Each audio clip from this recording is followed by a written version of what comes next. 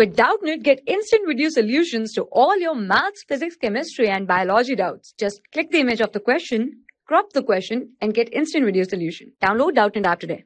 Question is calculate the average kinetic energy of hydrogen molecule at 0 degrees Celsius given Boltzmann constant as 1.38 into 10 power minus 23 joule per Kelvin. Hence we can say average kinetic energy of a molecule of a gas of freedom is given here as k is equal to we have here f by 2 into k into t where k is Boltzmann constant that is kb into we can say here as t. Now we need the average kinetic energy for hydrogen molecule at 0 degrees Celsius. So hydrogen is H2 which is diatomic. So it contains 3 translation and 2 rotation degrees of freedom that is F equal to 5. So substituting the value of here F as we have here as 5. So we can say this comes as 5 by 2 into kB into T. So here Boltzmann constant value is given as